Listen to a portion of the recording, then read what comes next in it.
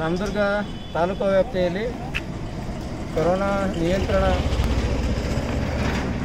ವಿಷಯವಾಗಿ ಕರ್ಫ್ಯೂವನ್ನು ಹೇರಲಾಗಿದೆ.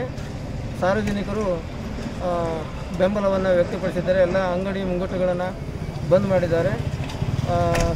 ಅವಶ್ಯಕ ವಸ್ತುಗಳಿಗಾಗಿ ಖರ್ಚು ವಾರದ ಎಂಡಲ್ಲಿ ಬೆಳಗ್ಗೆ ಆರರಿಂದ ಬೆಳಗ್ಗೆ ಹತ್ತರವರೆಗೆ ಅವರಿಗೆ ಅವಕಾಶ ಮಾಡಿಕೊಟ್ಟಿತ್ತು ಎಲ್ಲ ಅವರ ದಿನಸಿಗಳನ್ನು ತೆಗೆದುಕೊಂಡು ತಮ್ಮ ಮನೆಯಲ್ಲಿ ಉಳಿದುಕೊಂಡು ಕರ್ಫ್ಯೂಗೆ ಸಾರ್ವಜನಿಕ ಬೆಂಬಲವನ್ನು ವ್ಯಕ್ತಪಡಿಸಿದ್ದಾರೆ. ಅಷ್ಟಾಗಿಯೂ ಸಹ ವೈದ್ಯಕೀಯ ಕಾರಣಗಳನ್ನು ಹೊರತುಪಡಿಸಿ ಗ್ರಾಮಗಳಲ್ಲಿ ಮತ್ತು ರಸ್ತೆಗಳಲ್ಲಿ ಅಳೆದಾಡುವ ಸಾರ್ವಜನಿಕರನ್ನು ಹಿಡಿದು ದಂಡವನ್ನು ಹಾಕುವಂಥ ಕೆಲಸವನ್ನು ನಮ್ಮ ಪೊಲೀಸ್ ಅಧಿಕಾರಿಗಳು ಮಾಡ್ತಾ ಇದ್ದಾರೆ. ಮತ್ತು ಕಾನೂನು ವ್ಯವಸ್ಥೆ ಚೆನ್ನಾಗಿದೆ.